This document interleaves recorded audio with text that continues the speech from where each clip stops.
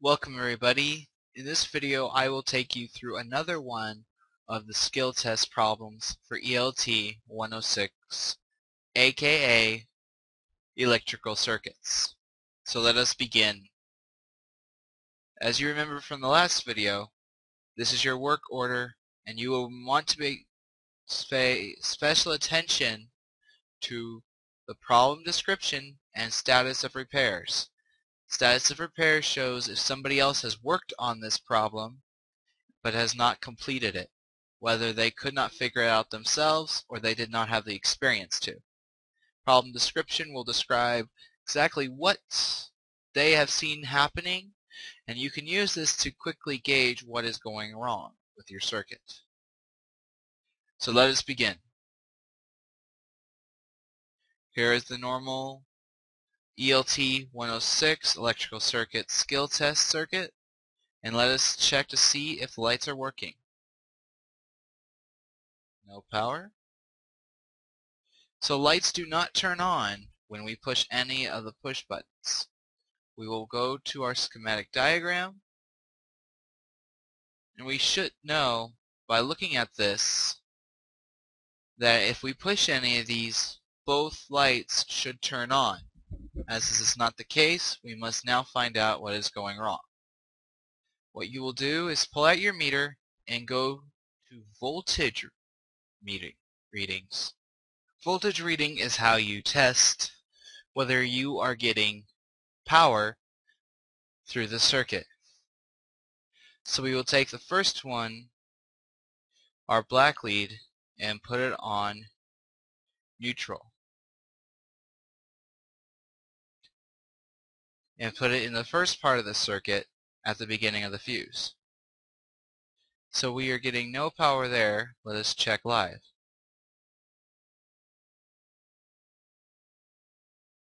We are still getting no power.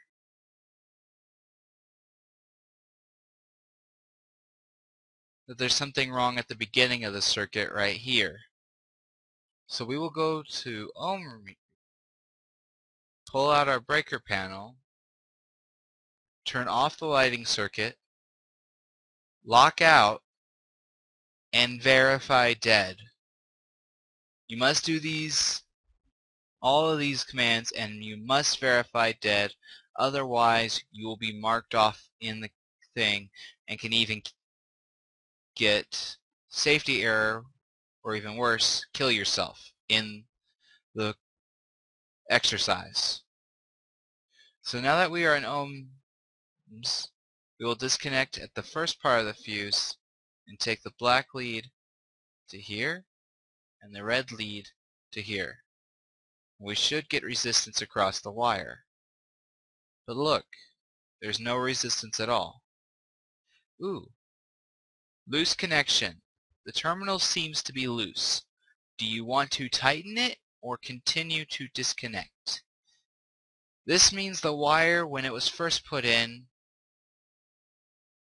was not put in tightly enough, or it has since moved loosened out of it by either vibrations or anything else. So let's tighten it. Take your screwdriver, reconnect to the fuse, turn off your meter, remove the lock on the breaker panel, turn on the lighting circuit, and test the circuit. PB1 works, PB2 works, PB3 works, and 4, 5, and 6 work. Using observation, we were able to discover that this wire right here was not tightened correctly and was the source of our problem because when we measured voltage, there was no power flowing from the beginning, from the terminal block, to the fuse. If we had received power to here but not to here, that means our fuse would have been blown and the problem would have been elsewhere.